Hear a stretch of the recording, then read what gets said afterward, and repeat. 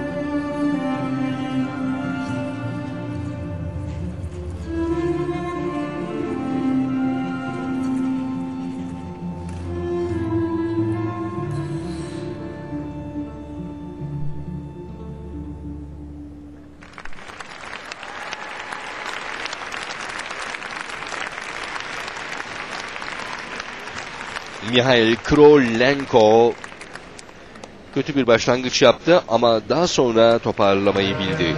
Fakat genel olarak düşük puanlar gelecek.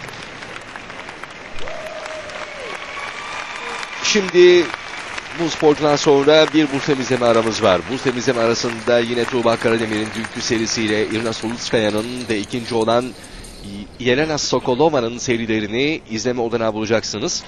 Daha sonra tekrar canlı yayına döndüğümüzde e, iki sporcu var. Hırvat ve Bulgar sporculardan sonra Alper Uçar e, çıkacak piste.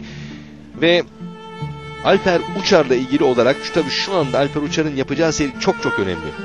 Orada Alper antrenmanlardaki seviyeyi yakalayacak olursa inanın burada bırakabileceği, geride bırakabileceği insan sayısı kesinlikle 11'i buldu.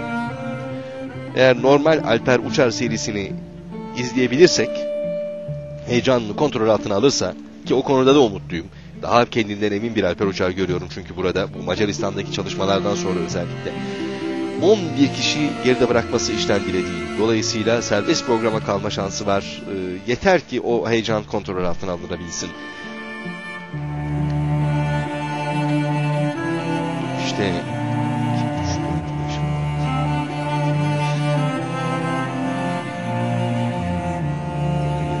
sporcular.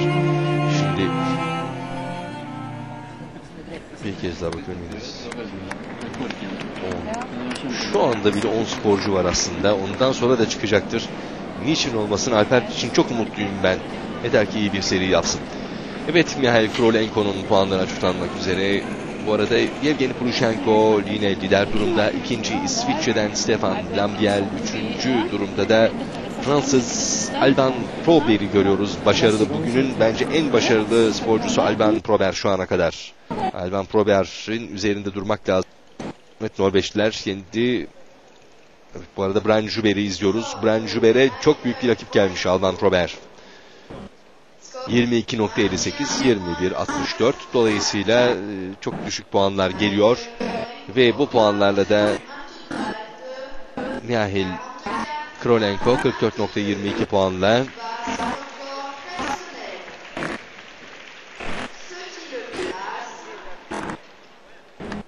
Evet 20. sırada yer alıyor. İşte bütün bu sporcuları çok rahat geride bırakabilecek bir e, durumda şu anda aslında Alper Uçar.